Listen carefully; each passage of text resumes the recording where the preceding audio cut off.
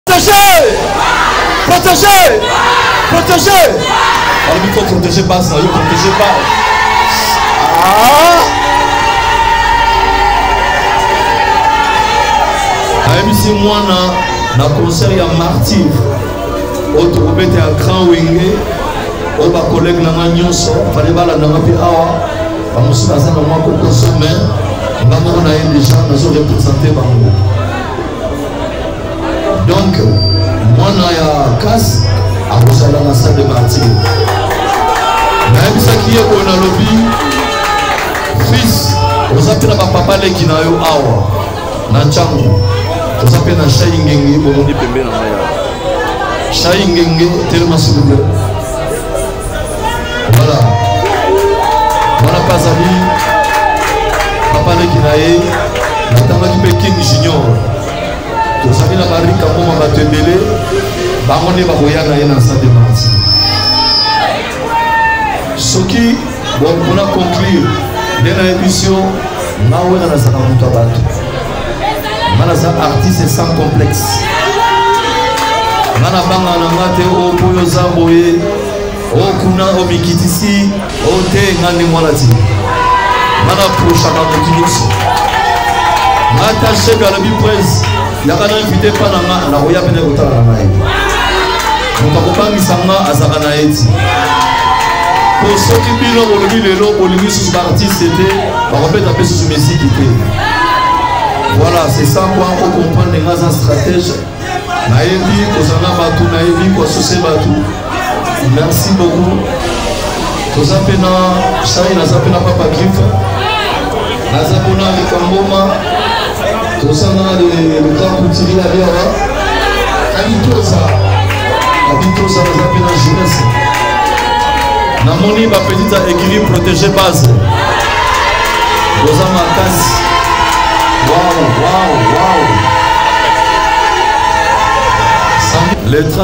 jour wana ekozala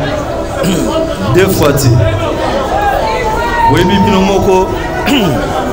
negre de la forêt abetaka spectacle na ye wana tokutani na bacollègue na nga tozosangisa mayele me ndenge makambo ezalaka bino mo boyebi ebimeli na ekoteli ezalaka mosusu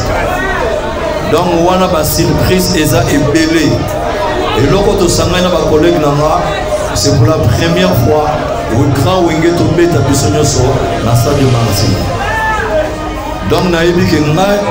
motema na ngai makasi eza mingi na bana ntango nayebi ke bino ntango boyaka boyaka koya soki nalongwe nakosala mpe par tous les moyens nake mpe kotala bana etat nakende ti bakota manzele bakota malweka apres nakokita na centre ville nakenda bana litonge bana kasavubu bana lingwala bana balungu mais avant nakoma nanu kuna fana nanu liboso mpo na bino awa mpo na yebi ke awa ezalaka oza république oyo eza mokili mosusu vraiment jour wana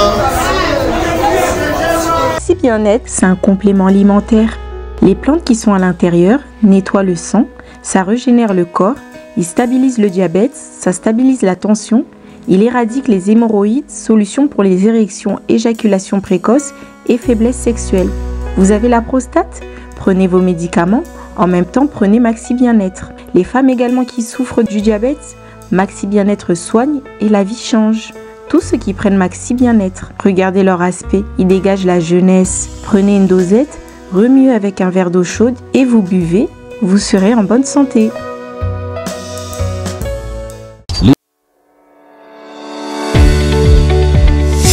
Paris, Belgique, Brazzaville et Kinshasa. DS Champagne vous accompagne lors de vos événements avec un service d'hôte et d'hôtesse pour une dégustation de nos crus d'exception, finesse et d'élégance.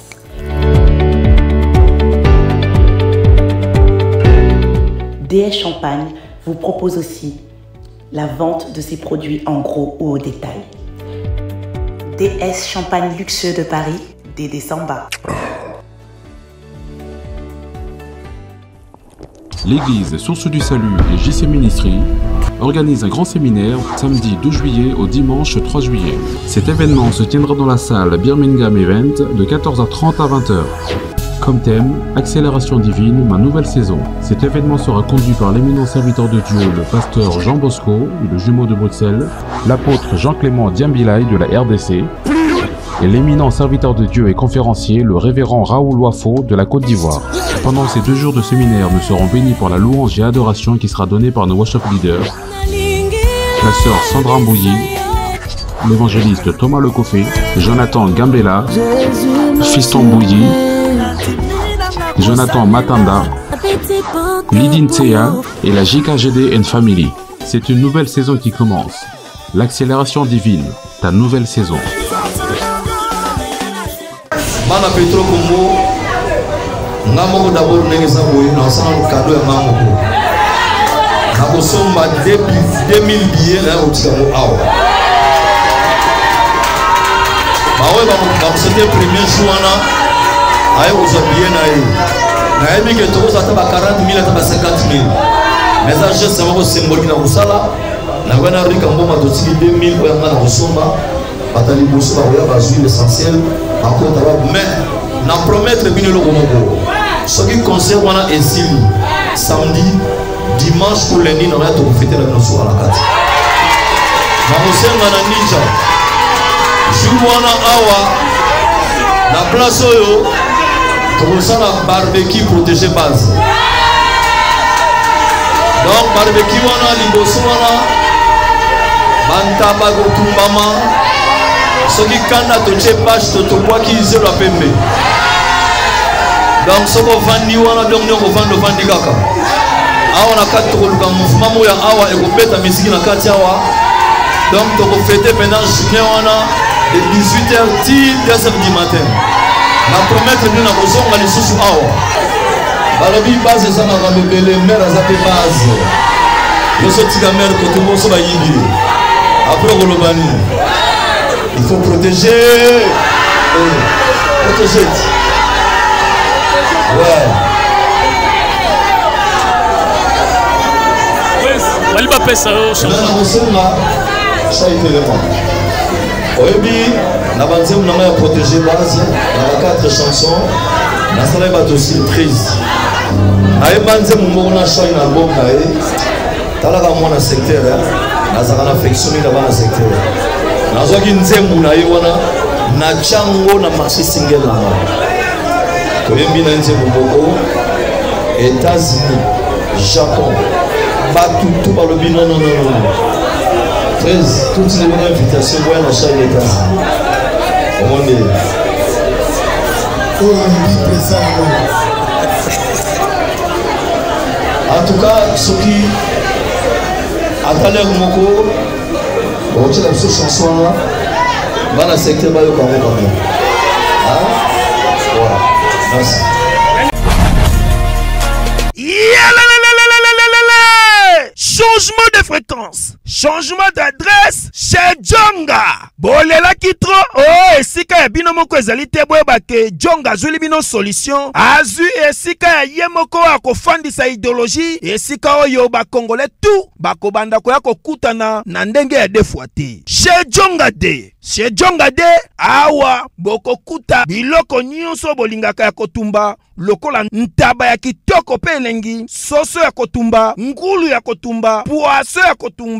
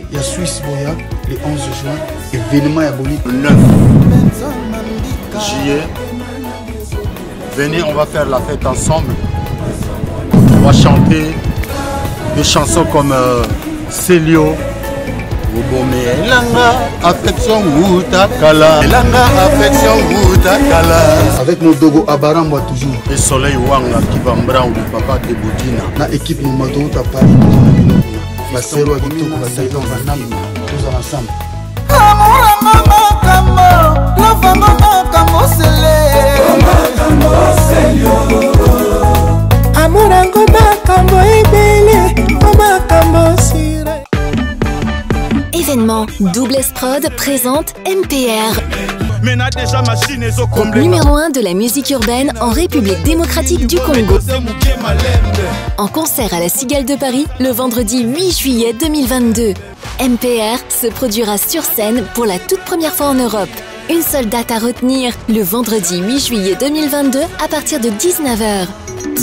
Le duo congolais vous promet un spectacle haut en couleur, à ne surtout pas manquer. La billetterie est d'ores et déjà ouverte et disponible dans tous les points de vente habituels. Pour plus d'informations, contacte www.prod12@gmail.com yokoti ntina kati eza baremerciema makasi osukaki kuna te e ozwi suta ya kotala bana ya petro congo prese en tout cas baremerciema makasi epa na yo prese ntango na nga le roi de la forêt ezalaki na moto ya mibale to misato oyo nakotuna président eza na bastratégie nini oyo yo ozalaka nango na kati ya nzoto oyo ezangaka bato ebele bazwa initiative oyo yo ozwaka te ya kosala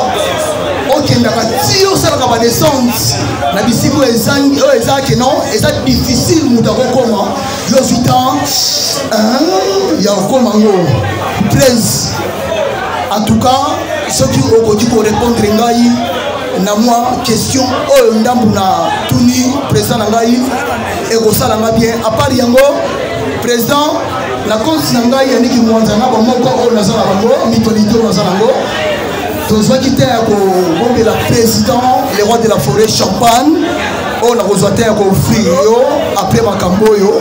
nakozwa te ya kopesa yango presi oyebi na bana babanda bana zamba otuna nga bakombo ya bamusicien napesa bakombo napesa kombo aliyaka nkolo oboyaka ngo opesaka kombo arc-en-ciel nayebi oyebi yango lisusu les solistes eh, donc question na ngai oyo natunaki oyo ezalaki bastratégie nini oyo ozalaka nango oyo ezanga epa bamusicien misusu okitaka ti na badescente pres na ngai Merci Yannick Mwanza. Donc, euh, oh Yannick Mwanza, jeune ya Petro Congo. Prince Yannick Mwanza. Question Oyo Antonio Soki Okoki ko répondre.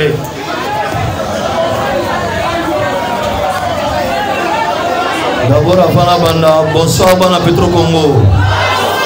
Bonsoir Bana Petro Congo. Voilà, c'est bon, mon awa. nga nazala na ngai mwana ncango place bapesa ngai pouvoir lere ya séparation boyebi babanda aéroport makolo ti na ville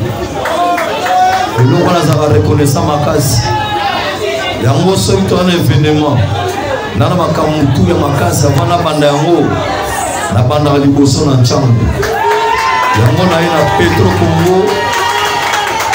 eza na motu moko te oyo akoki koboya ntango que ça soit baartiste que ça soit bapoliticien motu nyonso basportif pouvoir akini ebandaka na ntango nyonso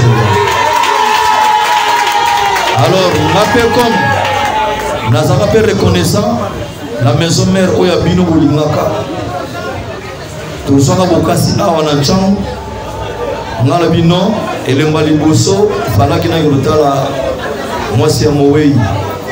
mwana na ye ayaki na repetition abi président papa ntango azalaki abandi kolingo makasi lere mpe na matanga na biso tomonaki oye kotala biso me naye na repetition na yo naza na kado na yo fo oyo papa atikelaki yo na bino naya kotala bino na ndako abi prese koya nakomaki ti bomonaka baimage geste mobali asalaka soki okoki kotala famille natikaki mpe mwa eloko nakourajaki ye nayebisaki eloko moko lobi nayebisi ye nga naza prêt ya kosoutenir baartiste nyonso ya chambre nayebisi mwana na concert ya martyr oyo tokobeta ya grand wenge oyo bacollègue na nga nyonso fale balanda nga mpe awa bamosusu baza na mwa kokoso mai nga moko na ye deja nazo represente bango donc mwana ya kasi akozala na stade de martyr nayebisaki ye boye nalobi fils oza mpe na bapapa leki na yo awa na ntango oza mpe na shai ngenge bomoni pembe na ngai awa shai ngenge telema silvre voilà wana mpe azali papa leki na ye natangaki mpe king junior tozali na barika moma bato ebele bango nde bakoya na ye na nsade marti soki bopona conclure nde na emission nga wena nazalaka moto ya bato nga naza artiste sans complexe nga nabanga na nga te o oh, mpo yo oza boye o oh, kuna omikitisi oh, o te nga nde mwana ti nga naprochaka motu nyonso nga ta cheke alobi prese yaka na invite mpa na nga nakoya mpene kotala na ngai moto akobangisa nga azalaka na ye ti mpo soki bino bolobi lelo bolingi susu baartiste te bakobeta mpe susu miziki te voilà c'est ça quoi ocomprendre nga aza stratège nayebi kozanga bato nayebi kosuse bato merci beaucoup toza mpe na shai naza mpe na papa griffe naza mpo na rikamboma tosana le grand couturier ya biawa kabitoza kabitoza naza mpe na jeunesse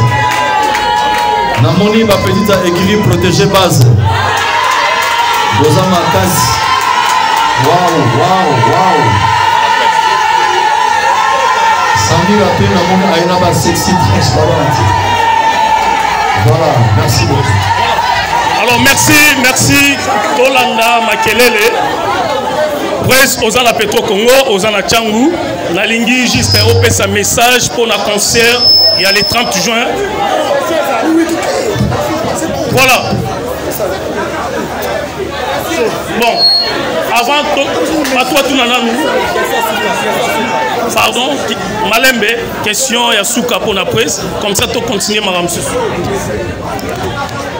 Allô Bon, question na ngai ya suka.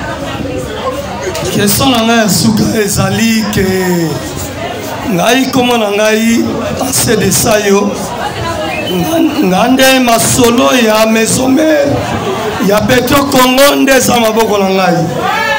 nalingaka de la foret mingi ti maison mère ekota bamakambo ekoto bapeti bakenda totikala ti totikala na de la forêt donc euh, naza eloko aloba tro te nalingi nasala kaka na vieux tsone est ce que le 30 juin tokoya bana ya ntango tozala ata mosusu 200 personne toyebi te ekozala ndenge nini mpo na ye paseke bana ntango tu balobi ke bakoya mpo na de la foret nayebi te soki azokosa bapetit tu bazali awa tokoya mpo na de la foret tokoya teke mpona o oh, o oh, o oh. apesa biso suite ya le 30 juin ekozala ndenge nini merci prince balobi opesa bango suite le 30 juin ekozala ndenge le 30 juin wana ekozala deux fois te boyebi bino moko negre de la forêt abetaka na spectacle na ye wana tokutani na bacollègue na nga tozosangisa mayele me ndenge makambo ezalaka bino mo boyebi ebimeli na ekoteli ezalaka mosusu donc wana basurprise eza ebele eloko tosangani na bacollègue na nga c'est pour la première fois grand wenge tobeta biso nyonso na stade de martyr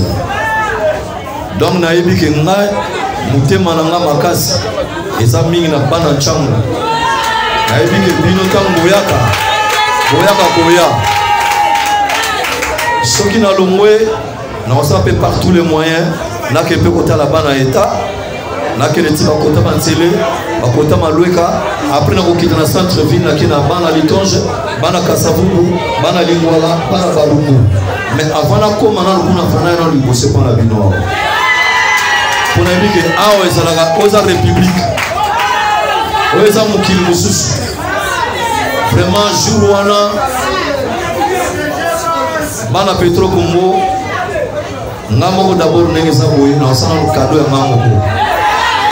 nakosomba 2000 billet naya kotika ngo awa baoyo bakosete premier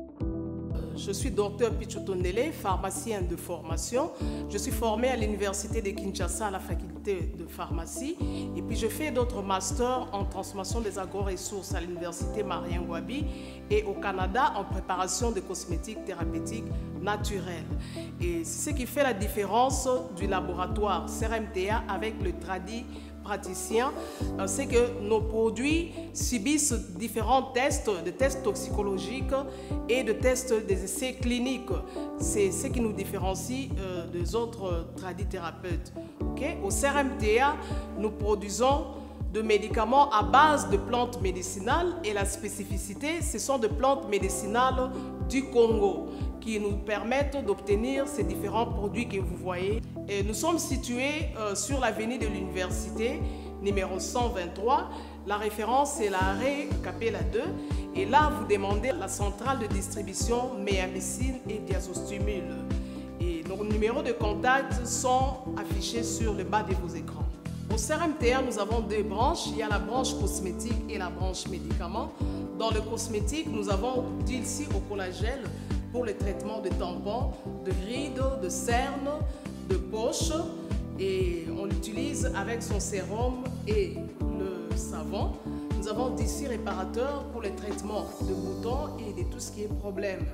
au niveau de la peau. Ça répare votre peau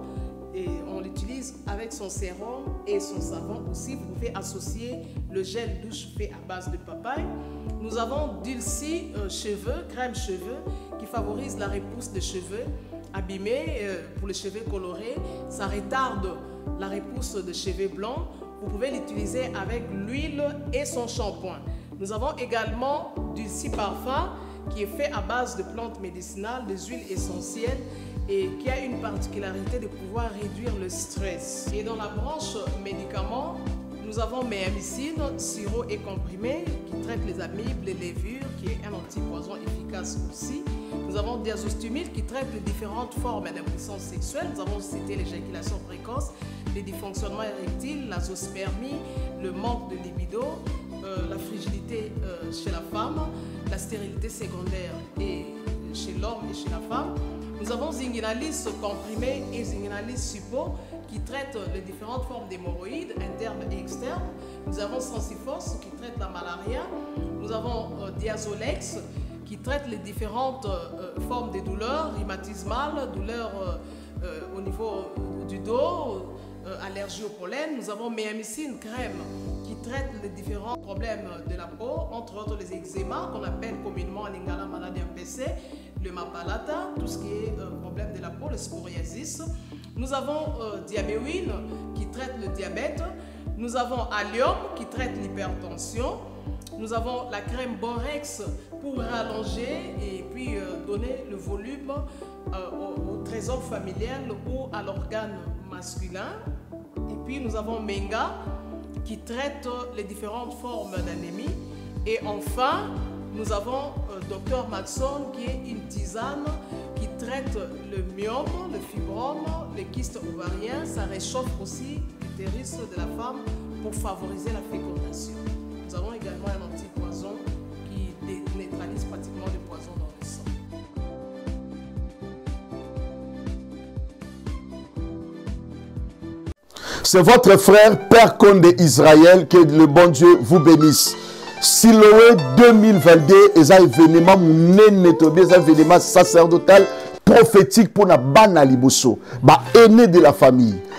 responsable de famille boza bainvite ya evenema oyo eza 23e édition tosalaka evenema oyo mpo na bana liboso mpo na baresponsable ya famille mpo na bato baza na bacas résistant mpo na bato bakondane bango condamnation ekweyaka à chaque événement oyo tosalaka sikoyo événement oyo tour oyo toza na kati ya paris alors évite na nge eza yo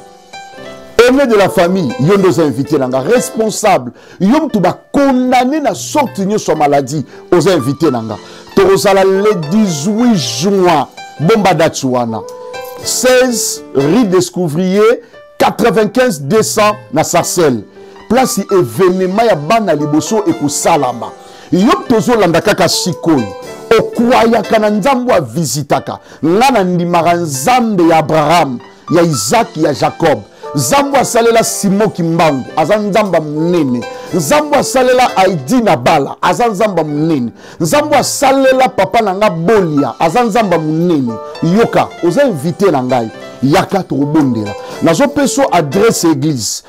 yaka tokoprie 9 rue de la poterie saint denis mercredi 15 heures service prophétique et délivrance dimanche 15 heures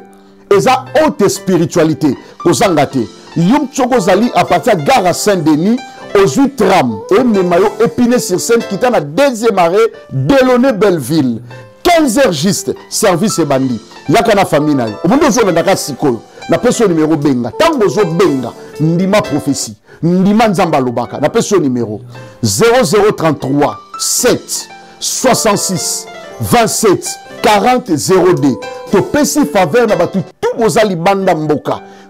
komela nga ka requete tinda kombo na oza na mwana yango azobela tinda partout bisika ozali tinda tika nzambe apambola bino c'était votre frère père conde israël sacerdoce eratara te jamais erata soyez béni au nom de jésus merci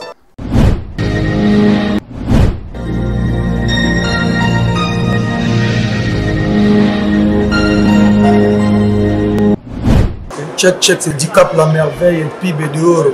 bana mboka to soutenir fondation ya vie na biso emame ya fondation lisalisi azo assurer ba obsèque azo assurer habitation na europe adidi na cause naza banga assurer même l'assurance habitation l'assurance qui assure le diaspora africain mm, emame yo tala yo ye lisusu na lisalisi assurance yo oyo olingi osasure yaka assurance auto ezali assurance rapatriement ezali mutuelle de santé ezali assurance auto ezali na misusu oyo yo koluka nyonso ezali na lisalisi assurance ndeko na yo azwi traitement ndeko na yo bakundi ye na bolamu nyonso to vraiment to soutenir c'est une bonne idée ozomona na kati ya fondation lisalisi epai ya emameya mpo na baverite lokuta eza te banda ebanda fidelité jour na jana na rtr le papa de gims l'assureur qui assure emameya aye lisusu fondation lisalisi e na bato oyo bazoloba ke kongo fo ezala bien wana eza na bato oyo bazosala mpe ke kongo ezala bien okoa na vie na biso na emameya l'assureur qui assure la diaspora africaine Dicap la merveille to soutenir fondation lisalisi ya vie na biso ema meya automobile na permis français permis étranger nyonso yanga nango okozwa papier assurance fondation lisalisi mpona bana ya kongo pema meya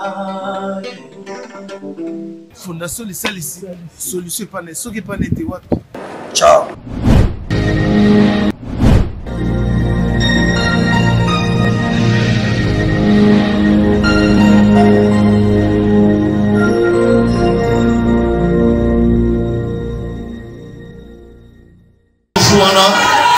aye kozwa biye na ye nayebi ke tokozwa ata ba 40 000 ata ba 50 000 mais eza geste moko symbolique na kosala na wana rika mboma totiki 2000 oyo yanga na kosomba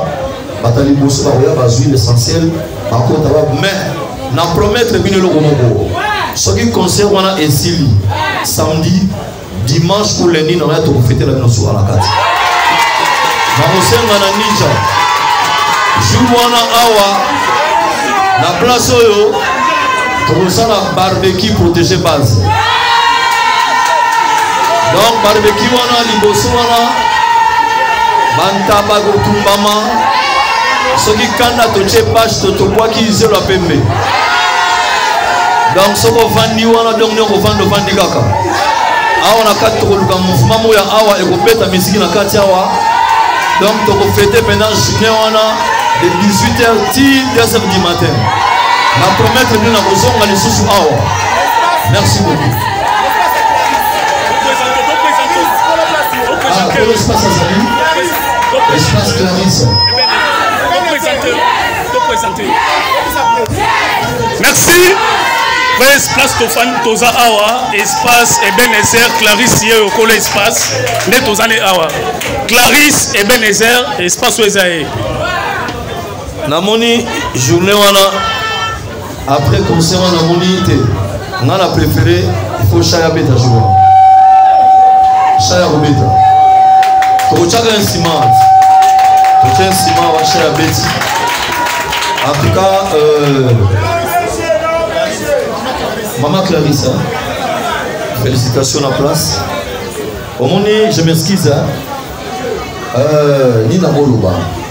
na makambo nyonso nga nasalaka na vie hein? place oyo nakoki kovanda ata mosusu nde navandaka na nga eza na baplace oyo euh, emakaka nga trop eza kovanda na bardo bavio nga nalinga navai na nga bato bavai na bango nalela yango makasi nazwaka bokasio te bonde navandi lelo awa donc balimbisa nga soki ezalika mabara na okenda te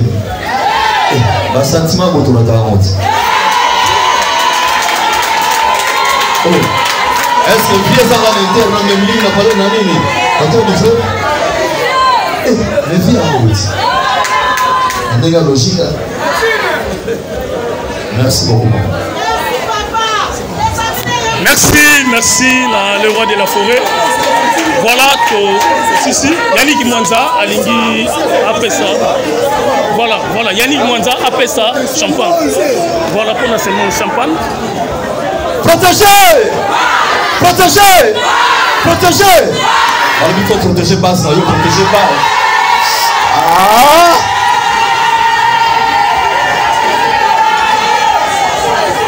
balobi base eza makambo ebele mere aza mpe base yoso tika mere kote boso bayibi ye apres okoloba nini il faut protege eh, protege ti ouais. bali bapesa yo change nakosenga sai telema oyebi na banzembo na ngai ya protege base na ba 4 chanson nasalaki bato surprise nayeba nzembo moko na shai na album na ye talaka mwana secteur nazalaka na affection mingi na bana secteur nazwaki nzembo na ye wana natya ngo na marché singel na nga toyembi na ye nzembo moko états-unis japon bato tu balobi nonononono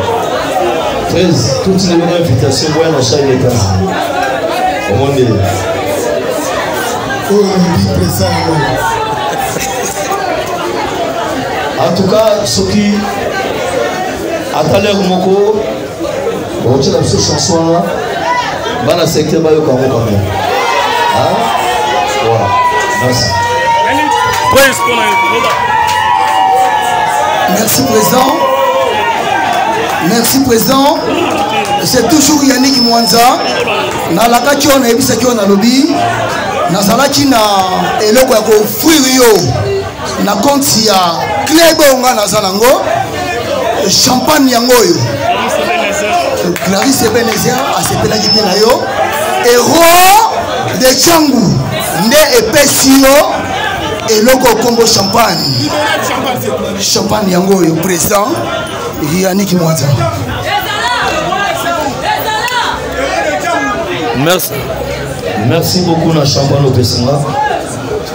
Na bini no kolobate. Nazo remercier mais na komela ngona ba petite à protéger base.